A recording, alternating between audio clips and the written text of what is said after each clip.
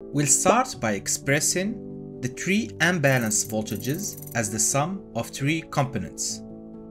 The first corresponds to the positive sequence, the second to the negative sequence, and the third is the zero sequence. Now let's find a concise formulation for these equalities. We know that phase B of the positive sequence is identical to phase A, but lags by 2 pi over 3. We can then replace in the equations phase B.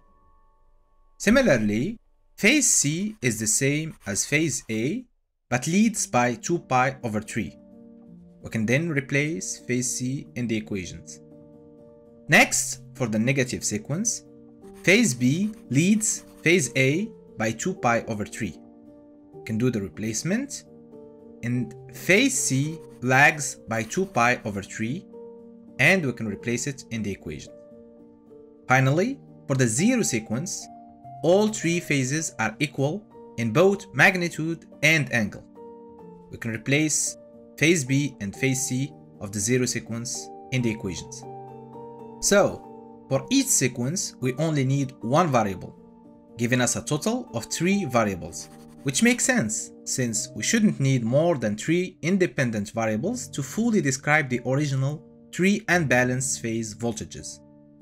To further simplify the formulation, we introduce an operator A, representing a rotation of 2 pi over 3 in the complex plane, and substitute it into the equations.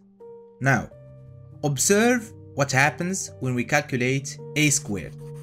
We express the exponent as 6 minus 2, then apply exponential rules to write it as a product of two complex numbers.